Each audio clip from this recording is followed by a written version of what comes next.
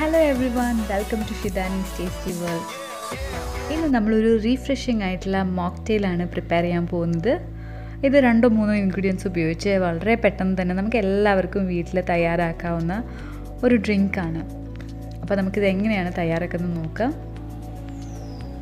ഇത്രയും ഇൻഗ്രീഡിയൻസ് ആണ് നമുക്കിതിന് വേണ്ടി വേണ്ടത്. സ്ട്രോബെറീസ് നന്നായിട്ട് വാഷ് ചെയ്ത് കട്ട് ചെയ്തെടുക്കാം.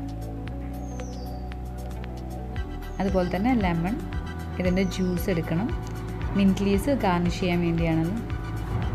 അതുപോലെ തന്നെ പ്യുവർ ഹണി പ്യുവർ ഹണിക്ക് പകരം നിങ്ങൾക്ക് ഷുഗർ സിറപ്പും ഉപയോഗിക്കാം. അപ്പോൾ നമുക്കിതെല്ലാം കൂടെ ഒന്ന് കട്ട് ചെയ്ത് എടുക്കാം.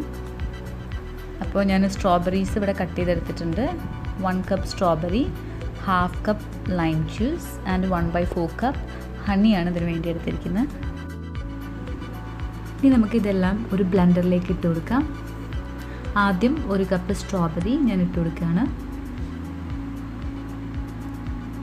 പിന്നെ ഹാഫ് കപ്പ് ലെമൺ ജ്യൂസ് ഇത് കുരുവൊന്നും ഇല്ലാതെ ജ്യൂസ് മാത്രമാണ് എടുത്തിരിക്കുന്നത്.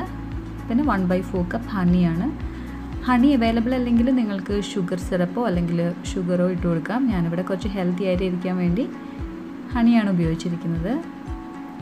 ഇതിലേക്ക് ആഡ് ചെയ്യാനുള്ളത് വെള്ളമാണ്. നിങ്ങൾക്ക് വേണമെങ്കിൽ ചിൽഡ് വാട്ടർ ഉപയോഗിക്കാം. ഞാനിവിടെ നോർമൽ വാട്ടറാണ് ഉപയോഗിക്കുന്നത്. രണ്ട് കപ്പ് വെള്ളം കൂടി നമ്മൾ ഇതിലേക്ക് ഒഴിച്ചു കൊടുക്കുകയാണ്.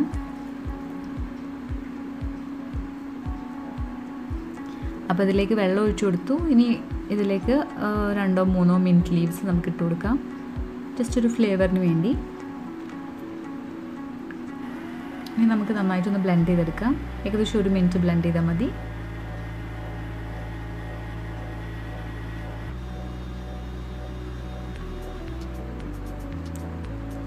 അപ്പോൾ ഇവിടെ നന്നായി ബ്ലെൻഡ് ആയിട്ടുണ്ട്. അപ്പോൾ നമ്മുടെ സ്ട്രോബെറി ലെമണേഡ് ഇവിടെ പ്രിപ്പയർ ചെയ്തു. ഇനി നമുക്കിതൊരു ഗ്ലാസ്സിലേക്ക് സെർവ് ചെയ്ത് കൊടുക്കാം.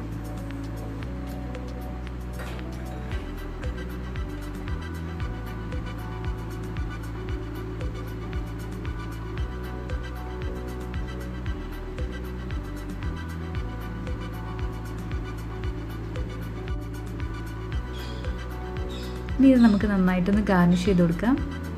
ഞാനിവിടെ സ്ട്രോബെറി കട്ട് ചെയ്ത് വെച്ചിട്ടുണ്ട്. അപ്പോൾ രണ്ടോ മൂന്നോ സ്ലൈസസ് അതിന്റെ ടോപ്പിലിട്ട് കൊടുക്കാം.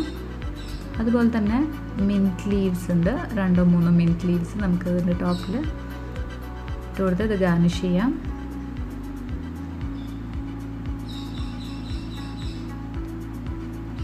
അതുപോലെ ഒരു ലെമൺ കട്ട് ചെയ്ത് വെച്ചിട്ടുണ്ട്. ഇനി ഇതിലേക്ക് ഇട്ട് കൊടുക്കാനുള്ളത് ഐസ് ക്യൂബ്സ് ആണ്.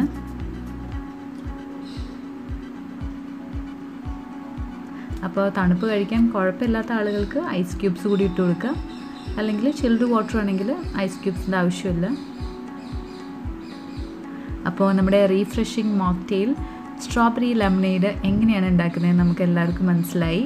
അപ്പോൾ നിങ്ങളെല്ലാവരും തന്നെ ട്രൈ ചെയ്ത് നോക്കുക. നിങ്ങളുടെ കമൻസ് അറിയിക്കുക. വീണ്ടും നല്ല നല്ല റെസിപ്പീസുമായിട്ട് നെക്സ്റ്റ് വീഡിയോയിൽ കാണാം. Thanks for watching my video